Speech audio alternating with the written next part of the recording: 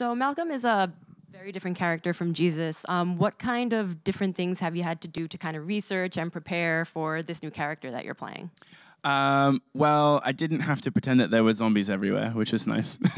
I mean, for this, it was a very different um, thing because in that show, it's obviously fantasy um, because those things don't exist. Whereas for this show, the, these people exist, and this is a real life um, situation. Um, so that was more difficult, actually, and I and I didn't. I I, I did a lot of research into um, in different different shows actually. I watched a lot of different shows to see the different influences that we would have and, and the different ways that these subjects have been approached.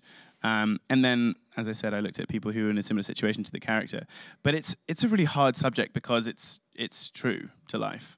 Um, and at the end of the day we're making entertainment. So you have to show as much I mean, in the, and in the pilot episode, you can see the hurt and the pain um, that the character has gone through. Jesus on The Walking Dead was a lot more centered and a lot more um, capable of uh, of dealing with the world. And the world in that show is completely collapsed and, and crazy. But Jesus had come to an understanding of of it and how to deal with it. Malcolm has definitely not. Um, he's still trying to figure it out, um, the world and how he relates to it. Um, and that's kind of an ongoing ongoing thing which I'm enjoying figuring out. But he's like flailing around trying to hold on to stuff, whereas He's Jesus in- had a very firm center. Malcolm's incredibly capable, but every time he accomplishes something or achie- or realizes his capabilities, it has an emotional toll on him at the same Yeah. time. Yeah, he's just all over the place.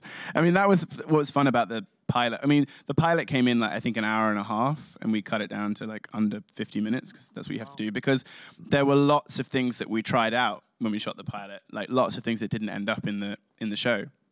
Because it was really about how do you present this character, and all of the things we tried out were were you know solidly based in reality and, and could be part of the character.